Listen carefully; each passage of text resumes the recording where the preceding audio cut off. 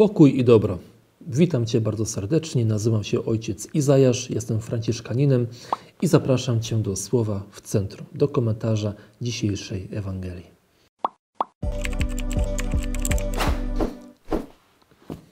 A dziś Ewangelia to jest ciąg dalszy tego, co było tydzień temu. Wtedy mówiliśmy bardziej o tym pierwszym czytaniu z księgi Nehemiasza. Dziś y, przejdziemy już do Ewangelii. Jest ona troszeczkę smutna, ponieważ Chrystus przychodzi do swoich właściwie, ale oni, kiedy usłyszeli jego komentarz do Biblii, strasznie się rozgniewali do tego stopnia, że go wyrzucili ze świątyni i chcieli go zrzucić z przepaści. I ewangelista zanotował, że takie może dziwne słowa, ale że Jezus wtedy przeszedł się pomiędzy nimi i odszedł. Czytając tę Ewangelię, widzimy, że jest tam jakby ukryta nauka o naszym sercu, o nas, bo kiedy Bóg przychodzi w swoim słowie z Biblii do człowieka i my czytamy, Nieraz rodzi się w nas bunt, dlatego że ja już to znam, to mnie już nie interesuje, albo to jest nudne, po co to znowu czytać, znowu to samo i tak dalej. To jest bunt. Jakby brakuje nam nieraz wiary w to, że Pan Bóg, on, że Pan Bóg się przebije przez to, że On jakby szukał wytrwałych. Mówi, mówi do nas, poczekaj, czytaj wytrwale, a będzie dobrze, ja Cię pobłogosławię. Ale wielu z nas się od razu zniechęca. Pojawia się bunt, być może nawet gniew, gniew rozczarowania, że słyszymy gdzieś w kościele, ktoś mówi, że warto czytać Biblię, a ja otwieram Biblię, czytam i to mnie strasznie nudzi. I mo może nawet pojawiać się gniew. Dlatego prawdą jest, że Pan Bóg do nas przychodzi, podobnie jak przyszedł do Nazaretu, żeby im powiedzieć o czymś bardzo trudnym. Kiedy my czytamy Słowo Boże i czytamy rzeczy znowu trudne, które niepokoją nasze sumienie, to też się wtedy rodzi bunt. Też tego jakby często tak jest, że jakby zostawiamy te trudne fragmenty i idziemy gdzie indziej. I to jest niebezpieczne. Potrzeba nam nieraz skonfrontować się z tymi tekstami, gdzie Pan Bóg mówi trudne słowa, ale On to mówi dlatego, żeby po prostu nas uratować, żeby nam pomóc w drodze naszego zbawienia. Dlaczego odrzucamy Boże Słowo? Mówię odrzucamy w cudzysłowie, bo nie zawsze też tak jest. No przede wszystkim dlatego, że w naszym sercu hałasuje wiele rzeczy. Ja o tym mówiłem już dawno, dawno temu, w tych pierwszych komentarzach. Hałas, nieuporządkowane nasze przywiązania, y, stan grzechu.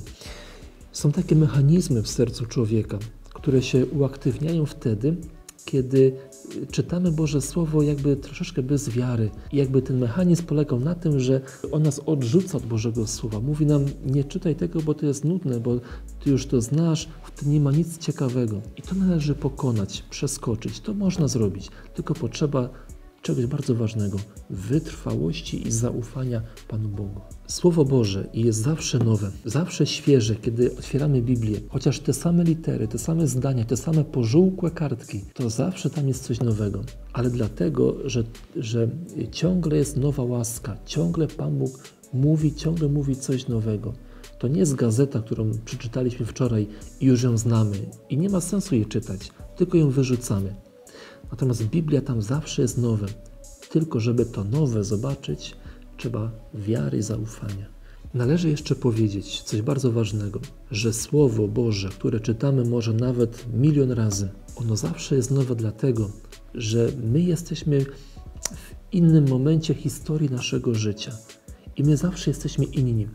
Jak dziś czytam Słowo Boże, jestem inny niż będę pojutrze bo my się przecież zmieniamy. Nie zawsze jesteśmy tacy sami w sensie fizycznym, psychicznym, jak i duchowym. I następuje taki moment krytyczny, bo Słowo Boże, które czytamy, ono ma zawsze ładunek w sobie. Ten ładunek to jest miłość. Boże miłosierdzie, kiedy czytamy. I to Boże miłosierdzie w tym słowie, ono spotyka się z tym, co mamy w sercu. Jeżeli tam jest i tam jest grzech, tam jest hałas y, i tak dalej, to będzie, będzie pewnego rodzaju bunt, podobnie jak w Ewangelii. To musi nastąpić, bo Pan Bóg chce y, przemienić to nasze serce. Inaczej do nas nie dotrze. Więc tu znowu ujawnia się to zaufanie, które jest ogromnie, ogromnie potrzebne. I powracam do początku tego komentarza, gdzie powiedziałem o tym, że Pan Jezus przeszedł się pomiędzy nimi i odszedł. Na to też warto spojrzeć tak głęboko, duchowo. On chce się przejść przez środek mojego gniewu, mojego lenistwa, mojego braku zaufania, moich grzechów, mojej niewiary, mojego braku zaufania i tak dalej. On chce się przez to przejść, żeby to wszystko zniszczyć w człowieku. Tylko trzeba mu na to pozwolić otworzyć mu swoje serce. I tu powtórzę chyba piąty już raz. Wytrwałość w czytaniu Słowa Bożego.